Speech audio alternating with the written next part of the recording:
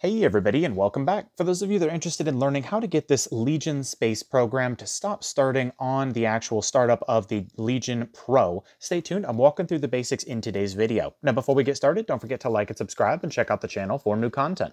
All right, so there are two separate options for this. I'm going to show you how to do it within the application because the second option didn't really work for me, which is managing it through other programs.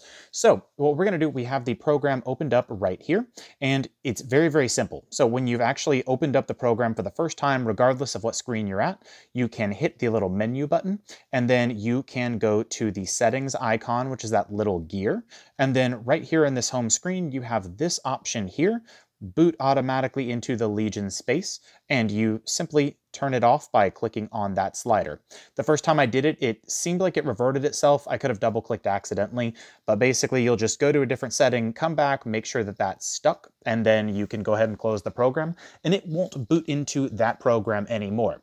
I don't think that this software is completely useless, but I don't think that it's needed to actually start into it, especially because if you're actually wanting to go into any specific gaming platform, you're going to have to open up that separate program anyway. And that's really all that there is to it. Now, I don't think that this software is useless, but I don't think that you need to boot into it every single time, especially because you're going to be opening up separate game launchers anyway. So if you have any questions, drop them in the comment box below, and I'll see you all in the next video.